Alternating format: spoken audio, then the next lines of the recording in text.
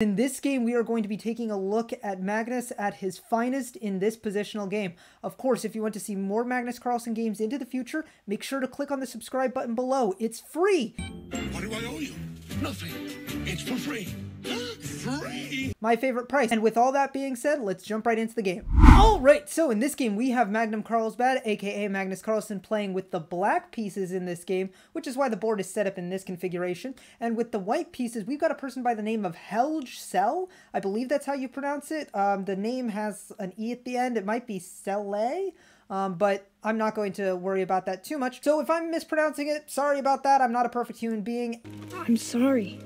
Do not be sorry. Be better.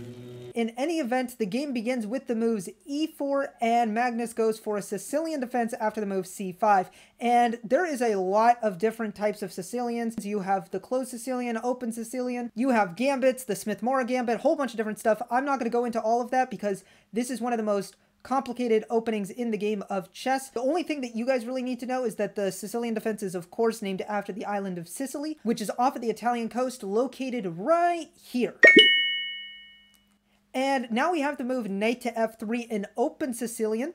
And the whole idea behind the open Sicilian is that white wants to push forward into the center of the board on d4, supported by the queen and the knight. And there's not really anything that you could do to prevent this. And so usually it's best for you to just continue your development on your own. So Magnus continues with the move d6, adding some solidity to this pawn on the c5 square.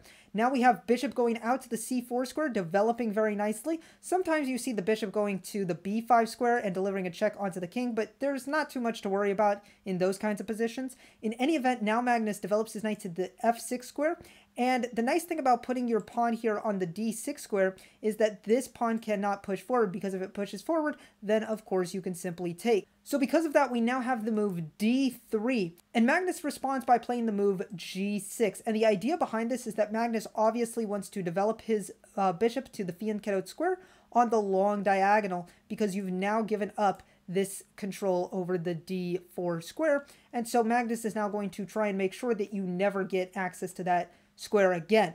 In any event, we now have the move knight to c3, continuing white's development. Magnus now develops the bishop to the g7 square in the same way that we were discussing earlier, fianchettoing onto this long diagonal where it will have long-term pressure. Now we have castles from both players, castles from white and castles from black, and now h3. And all of this is fairly standard stuff, and now out of the opening, we have pretty much an equal position. Um, everything is pretty much zeros if you look at the evaluation bar, and nobody really has too much of an advantage. And so now it's going to be a question of how is Magnus or Magnus's opponent, it's probably not going to be Magnus's opponent, but how is Magnus going to uh, maneuver his pieces around in order to actually get an advantage. So first we have the move knight to c6, Magnus continuing his development, and now we have bishop going out to the e3 square.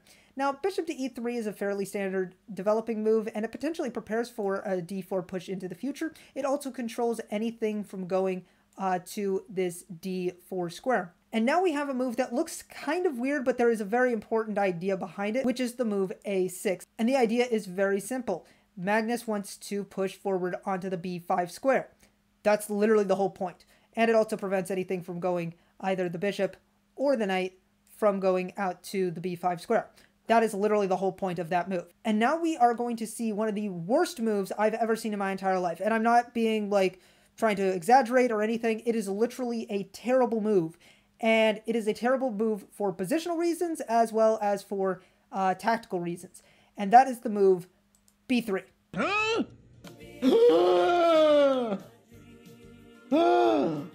oh dear. This move sucks. I cannot describe to you the degree to which this move is terrible. There's not enough words within the English Lexis. Um, nevertheless, the reason why I'll try to describe to you is first of all, this bishop has no way home. And I'm not talking about the Spider Man movie. It literally does not have a way to move backwards, it can only move forwards.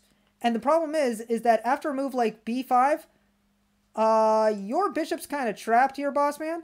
And yes, you can uh, play this move bishop to d5 because that's literally the only move. But the problem is, is that you then lose tactically. And so after bishop to d5, we now have the tactics of knight takes on d5. And now the bishop is opened up onto this undefended knight. And if you take with the pawn, the bishop will take with the knight. Here, I'll just show it to you. Pawn takes knight, bishop takes knight, and if you try to take the other knight, well, then there goes your rook. So that is the whole problem with this.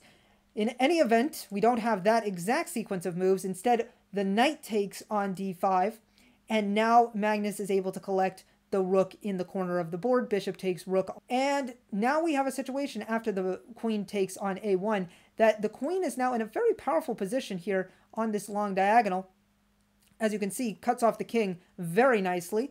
But the problem is, is that this knight is not going to stick around for too long. It can be kicked out very easily with a move like e6 at any point in time. But instead, Magnus plays kind of a weird move, and that is with the move e5.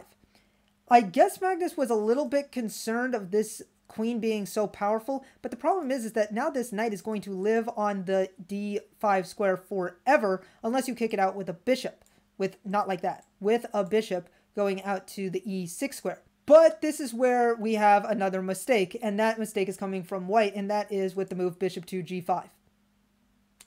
Yeah, so if your attack can be stopped by a pawn, as you can see, the queen is being attacked. But if your attack can be stopped by a simple pawn push, and you don't have anything else beyond that, yeah, it's probably not going to be that great for you. And so after the move uh, f6, you don't really have anything. Um, and now the bishop has to go backwards to the h4 square.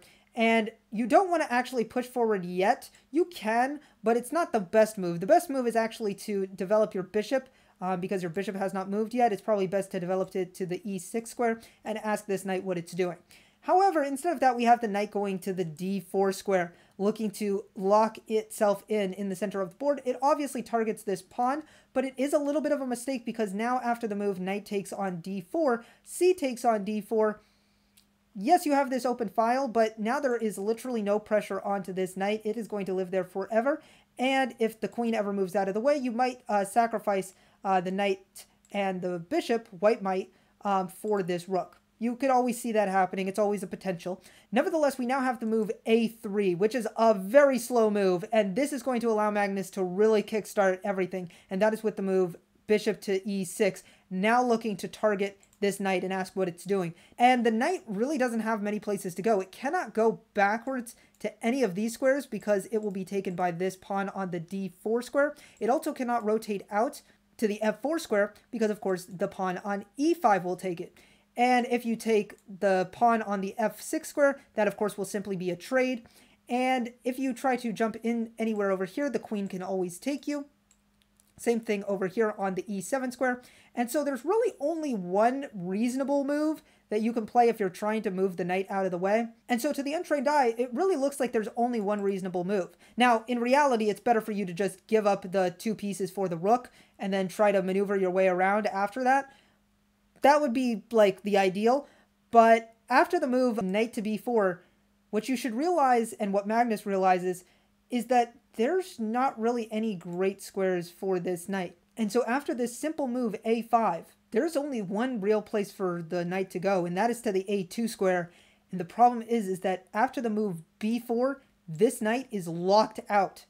And sure, you can play the move a takes on b4 and a takes on b4, but now the rook opens up and the queen is on the other side of the board. And so that long diagonal that you thought was so great, now all of a sudden is useless. And it bites into granite, as you can see. And this knight is going to be completely lost because there is no way that you can defend it. And if you play a nothing move, like for example, if you play the move, I don't know, like rook to here, I don't know. Then after the move, uh, queen to a5, there's no way for you to defend this.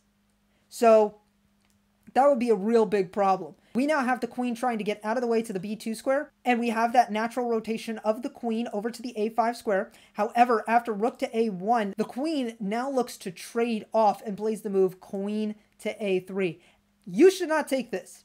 You should move back to the b1 square. That is the best move in this position. The second best move is to take Magnus's opponent takes on a3, Magnus takes back on a3, and the problem is is you are not fast enough to get this bishop over to defend this rook. And although you can play the move f3 trying to get back, all Magnus needs to do is slide his rook over from the f8 square to the a8 square, and now you are double stacked, and there is nothing that you can do from Magnus bulldozing down on the side of the board. Magnus demolishing his opponent here. He doesn't even care if you take.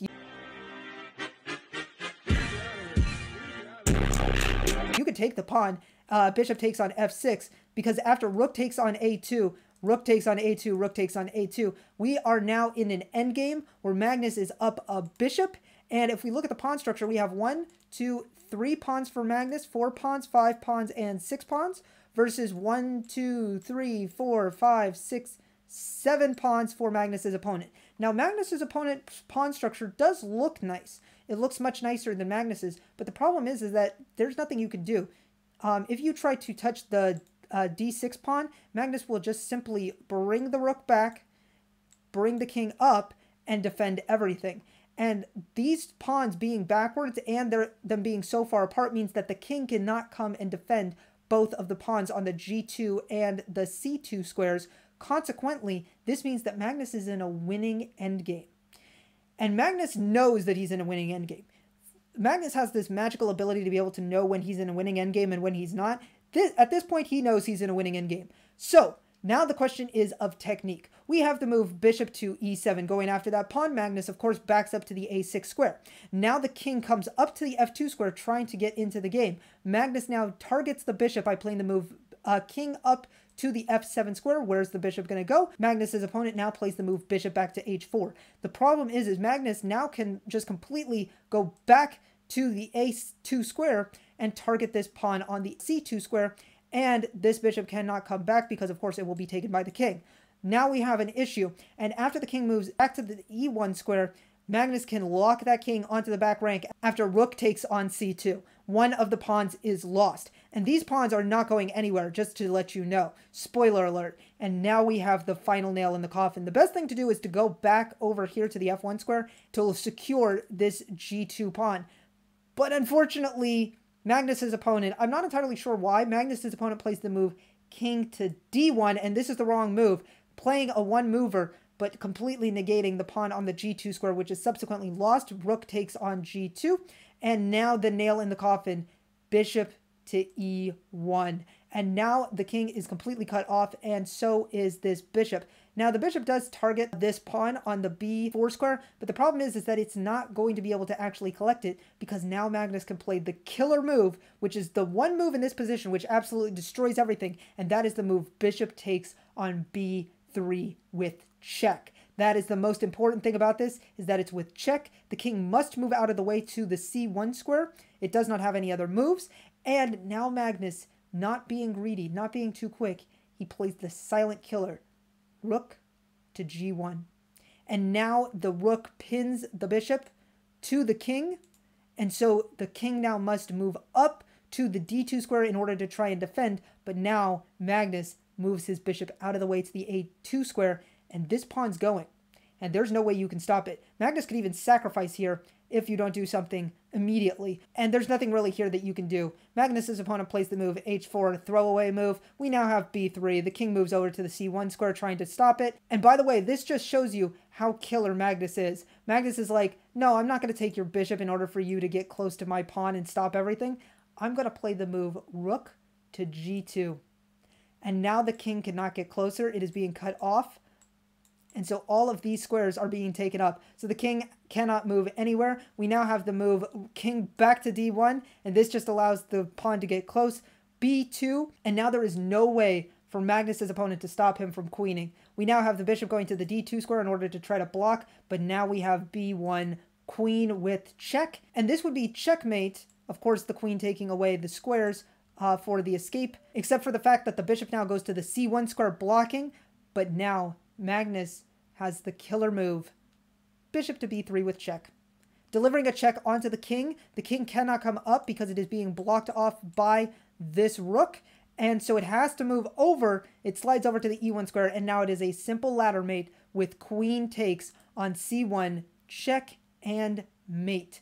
The queen takes away all of these squares for the king, and the rook takes away all of the squares in front of the king. And so this was the final position of the game where Magnus absolutely destroyed his opponent. What an incredible game from Magnus Carlsen being able to absolutely outmaneuver his opponent and to be able to push the knight back and trap it in the corner, forcing the queen to try and defend. Of course, being unable to. And this demonstrates just how complex the Sicilian defense can be. Nevertheless, I hope that you enjoyed that game. And if you want to see more just like it into the future, click on the subscribe button down below. We are a small channel. We're trying to grow and it is free. And of course, if you want to see more Magnus Carlsen games right now, click on the playlist, which is floating somewhere up here. I hope you enjoyed the game of chess. Hope to see you in the next video. Take care.